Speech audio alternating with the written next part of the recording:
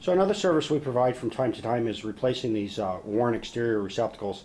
This isn't originally a GFI plug. It's probably at least about uh, 15 years old. So we're going to replace it and have the parts uh, right below there.